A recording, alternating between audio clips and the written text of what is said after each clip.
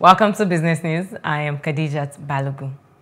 The Manufacturers Association of Nigeria MAN has called on government to take a holistic approach against the biting effect of multiple taxation and bad policies affecting its members. President of MAN, Mansour Ahmed, made the appeal while briefing newsmen ahead of its 50th annual general meeting. Justin Akadoni tells us more.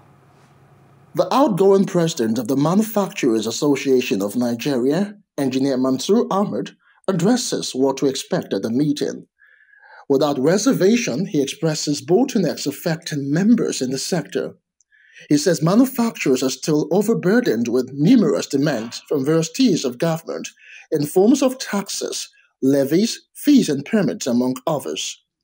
In addition, he says companies in the sector are confronted daily with multiple regulations and excessive drive for revenue generation by government agencies. It is indeed a matter of great concern to our members that even as our economy continues to experience very slow growth, our policymakers at all levels continue to compound the situation.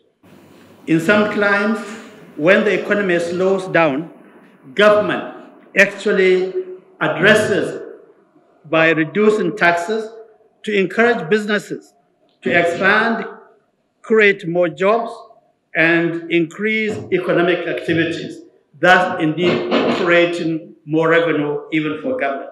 However, it is not all gloomy. Engineer Ahmed says MAN has benefited significantly in its relationship with the CBN through positive engagement by ensuring that regulations made by the Apex Bank do not have adverse impact on local manufacturers. We have engaged and tried to engage the uh, Central Bank of Nigeria with a view to ensuring that the monetary policies and the monetary regulations as they are applied by the central bank um, have taken account of the potential impact on the manufacturing sector and the economy generally, and have been modulated to minimize negative impact on the industry.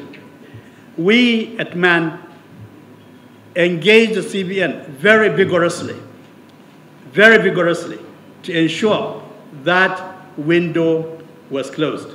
And I think this is a major success.